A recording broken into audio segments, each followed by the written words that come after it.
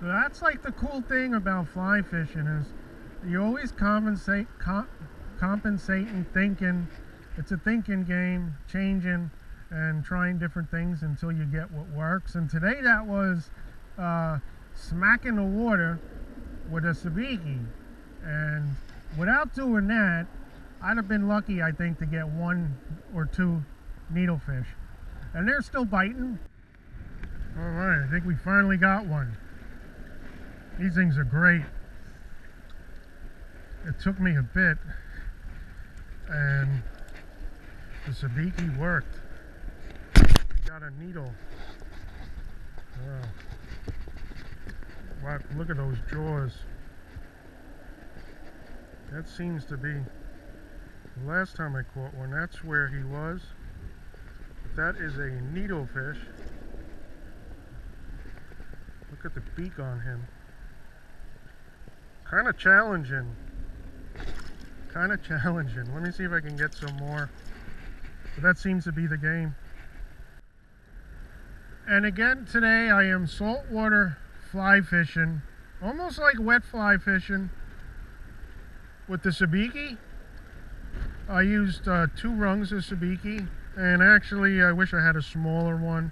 I think would be more effective. And there's two things that that sabiki is doing, or maybe three. It's almost like a wet fly configuration. Um, those sabikis just going to get more attention, almost like using a, a, a slapper hopper. And you got two baits in the water. So you're going to get that attention and you're going to get a better chance at hooking up just because you got more baits in the water. And uh, also on top, it's going to create that commotion. And there's probably something else I forgot to mention. But uh, the Sabiki definitely did it today and that's what we're doing. There we go, we got another needle. And he grabbed that sabiki that time. They seem to get it on the back end of their mouths. There he is. Way cool. That is way cool. These things are just cool. Wow. That is a needle. Whoa, slow down. They got some serious teeth on them. Wow. Ooh, watch out. Watch. Those hooks are sharp and wow might be a plier job. Got him pretty good. We'll get him on his way though. I'm just gonna grab my pliers. They are real difficult to get. I have them I have them a little bit figured out now. Well he took that bait in over. He took that good. Oh boy, he made a mess here. That one's not in. This is the one here.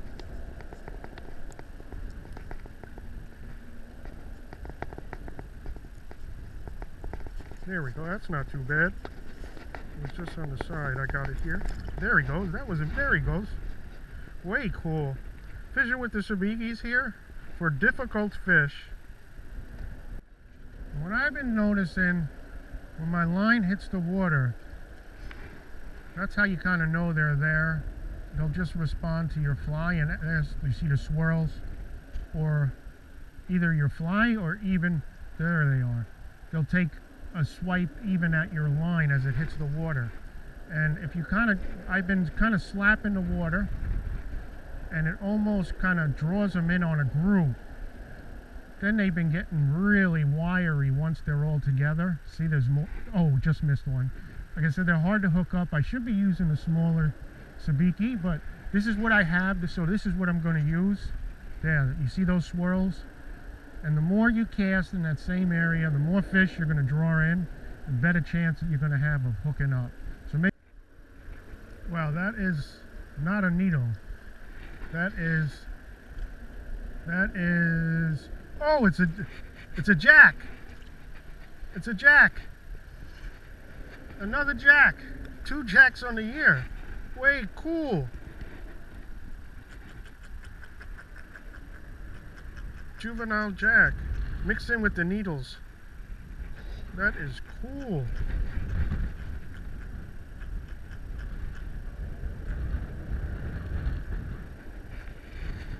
Awesome. Getting a lot of attention. I should, I wish I had smaller sabiki with me. I have a million of them at home, but uh, that's a little big, but hopefully it'll grab them.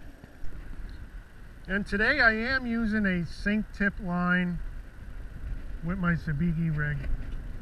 And it's fairly, fairly quick sinking. Uh, it's got to be four to six inches. I do prefer the sinking lines uh, in windy days with current.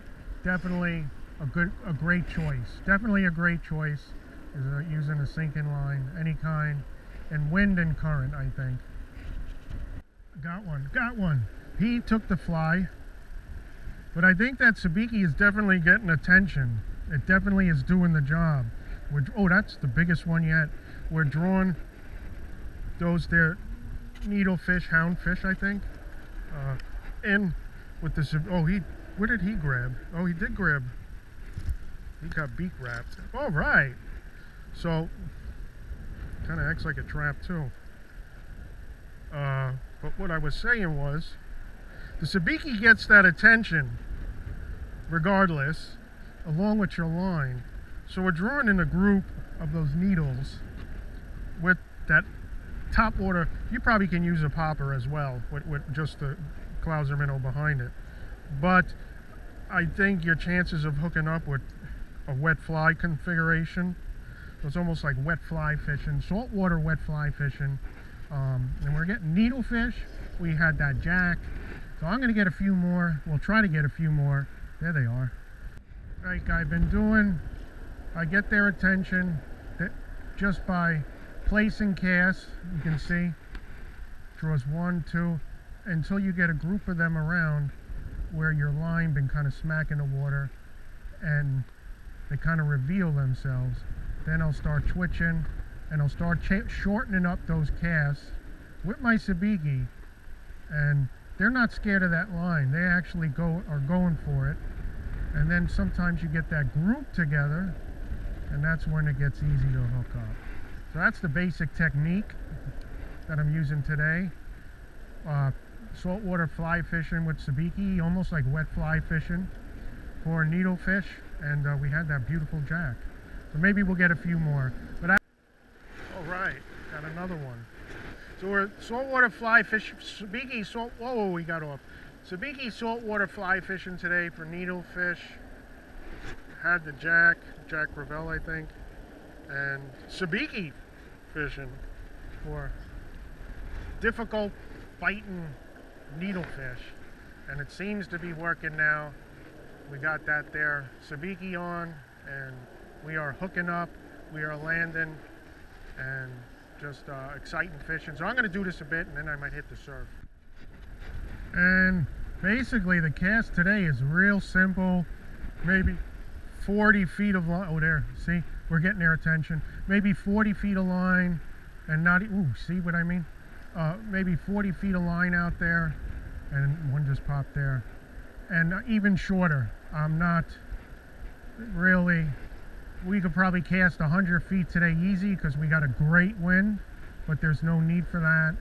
Maybe place one here and there, but just uh, sabiki fishing, uh, needlefish, saltwater, and uh, really different. Oh, oh, there's a chaser there. They're oh, there he goes. They've been really tough to get, but we're getting them. One thing I, I found with these here needles is Oh, oh, we got one, we got one. Oh, we had one. One thing I found with these needles is they tend to like to hang on the shallow end of the drop-off. Um, usually if you got that bait around, uh, I've been getting them, finding them on the shallow end of the drop-offs. I missed one or two there. Not good. But it good. Oh, whoa! That was something bigger. Wow. That might have been a bigger jack maybe I'll stay here and just keep away from the sun. All right. Uh, I didn't show you quick how I put the sabiki on, but basically I got about uh, three to four feet of about 15 pound test. I had my loop nut and at the end of my sabiki, it could be at the end of your line and I just clinch knot right to the loop and when you cut it off you just cut your clinch. And I use just use two rungs because they're a little big. Um, I should have made that a little longer. I think we might have had a few more fish if I had another three four inches in there. But uh, you just cut off a half of a sabiki two or three and drop your your fly on the end and you're ready to go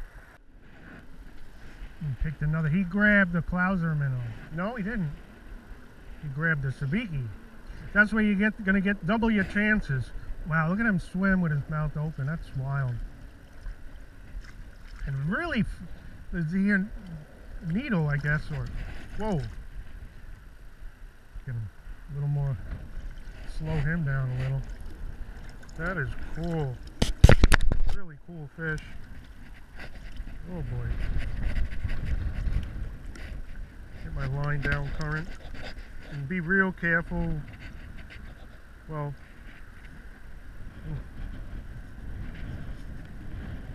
oh, oh slow down.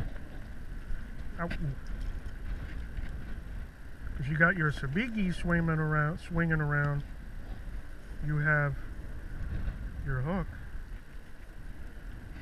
Oh your hook in his mouth. So be careful with them because they can bite you you can get hooked with the sabiki. Uh, fishing's a very dangerous sport very dangerous sport you can get hit from any angle while you're doing it so always be careful. Two three key things that we're kind of doing today that keys on that makes the day special and that's what makes saltwater fly fishing so exciting is figuring things out. Is first we're just working with a shorter cast. You can see I don't know could be 40 50 feet. Even I prefer to work it in shorter trying to draw in fish. Then we're using uh, a sabiki fly uh, uh, uh, the end a couple of sabiki rungs on with our minnow uh, to get attention and to increase the probability of hooking up. So those three factors are key on the day um, you definitely can take a long cast to see if you can draw more fish in uh, but oh you see uh, just casting in that same spot Wow, he was out. He grabbed that just as soon as it hit the water. Let's see what he grabbed.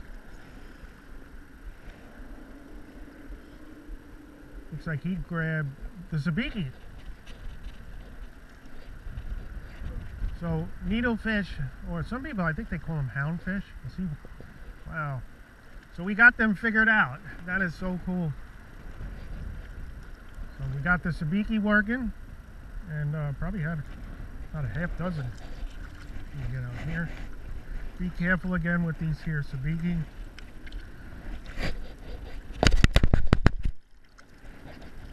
You got a top one, one swinging around on the bottom.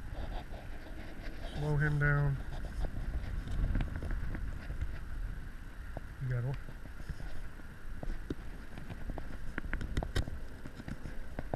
He's just nipping him. Ow! Ooh, he got me.